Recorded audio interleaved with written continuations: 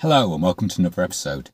Yesterday I was asked by someone called Chaz in the comments about the current state of health of my car because um, he knows that mine was one of the early ones that goes back to November 2021.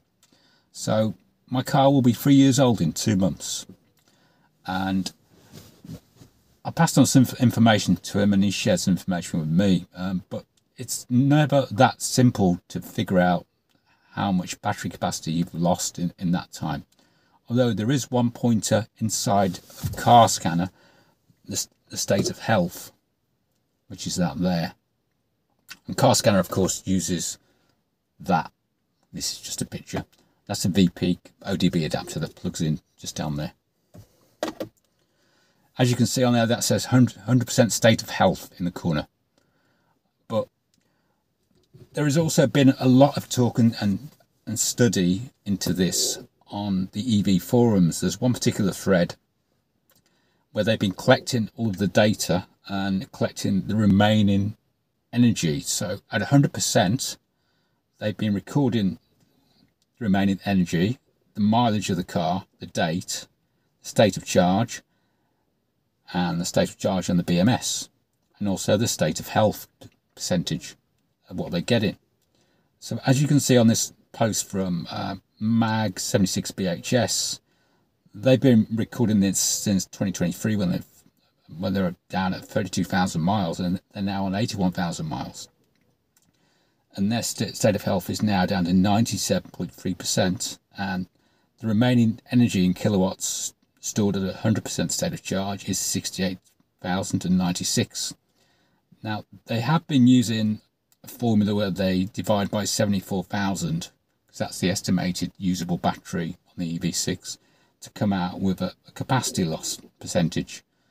But this has been disputed in my previous two-year roundup of my car and and it doesn't quite add up figure-wise with the state of health percentage but it seems to be roughly related so the less remaining energy at 100% the less the car's got to give. So, uh, anyway, what does my car say?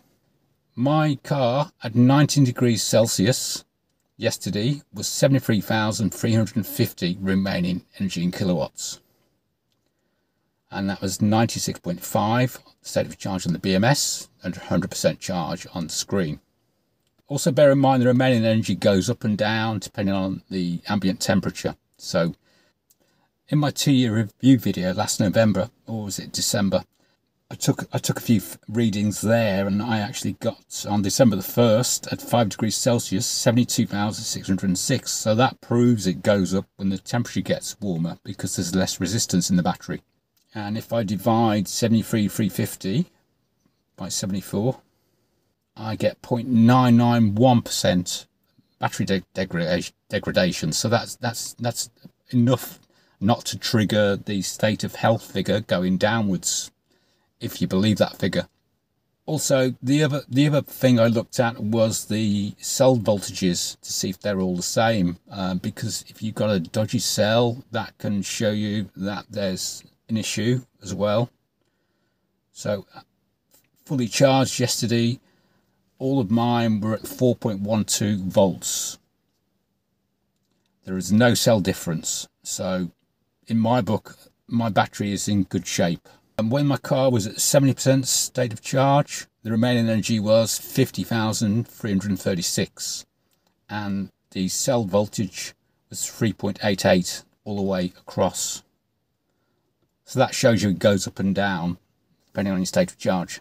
Anyway, I, I hope um, others will find this useful. If you've got access to Car Scanner and you can charge to 100%, uh, let me know your figures be interesting to see what everybody else has got and what your mileage is.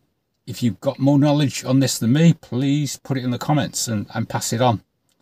Happy to learn from others who know a little bit more. Thank you for watching.